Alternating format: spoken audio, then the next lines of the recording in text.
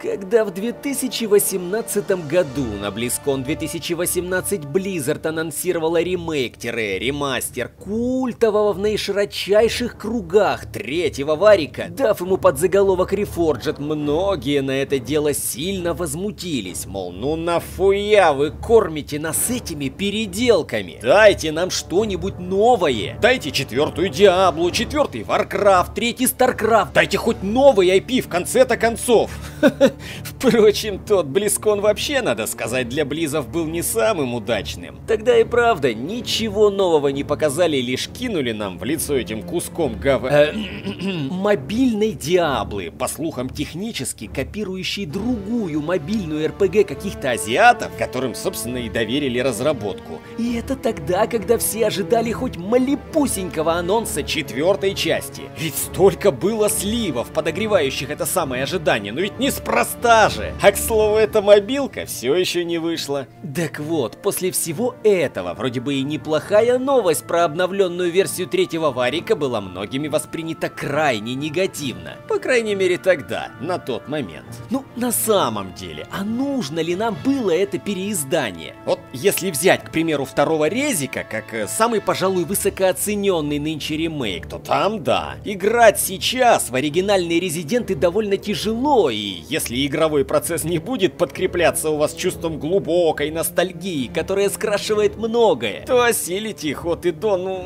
не каждому дано. А то, что сделали Капком, шикарно. Однако вернемся к нашим оркам. Оригинальный третий варик, на наш взгляд, ну, на взгляд моего коллеги, если что, текст писал мне он, так что костерить, пожалуйста, его в случае чего. Так вот, третий-то варик выглядит и звучит нормально. До сих пор. Да, игре уже почти 20 лет, но вы сами посмотрите. Крутая фотореалистичная графика этой игре не нужна, как и не была нужна тогда, в далеком 2002 Это стратежка, фэнтезийная стратежка. То, что полигонов маловато и все это немного угловато, ну так и Reforge не одарит вас чем-то невообразимым. Ведь по сути, насколько нам известно, это тот же самый движок, малость подшаманенный, но...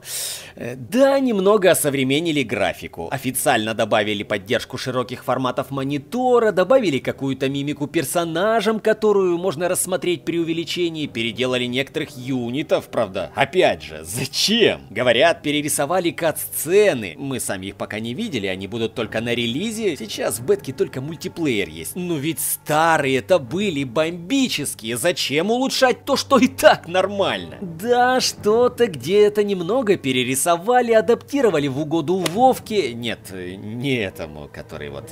Э, World of Warcraft, в смысле. Хотели еще сюжет вроде как подогнать под Вовку в паре моментов, ну, к счастью или к несчастью, передумали. Ну и самая большая боль для многих. Озвучка. Ее полностью переделали, и это вот правда прям печаль, беда, и вроде бы понятно, что, ну, годы прошли, и где-то оно уже не будет сходиться с видеорядом, особенно в роликах, которые перерисовали. И да, были косяки там в именах и все такое, но насколько был шикарен тот самый вариант, ведь его даже когда-то признавали лучшим дубляжом, причем там, за бугром. И да, сейчас озвучание тоже выполнено профессионалами, и вроде как по качеству звучит норм, но...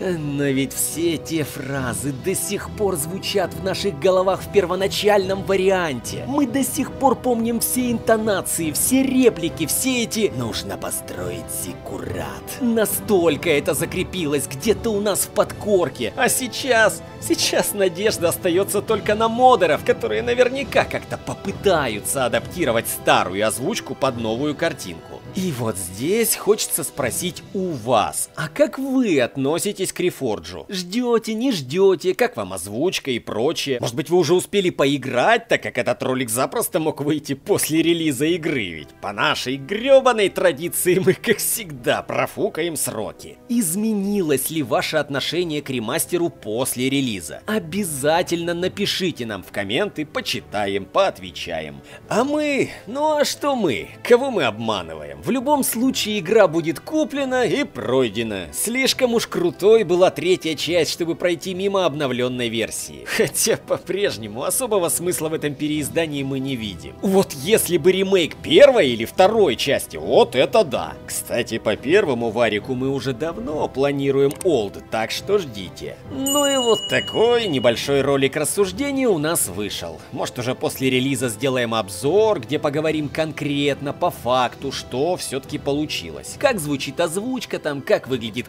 картинка и прочее. А на сегодня у нас все. Всем спасибо за просмотр и, как всегда, до новых встреч в новых видео. Лич даровал мне вечную жизнь. Это чудовище не должно вырваться на свободу. Порой руку судьбы нужно направить. Что ты делаешь? Становлюсь королем. Thank you.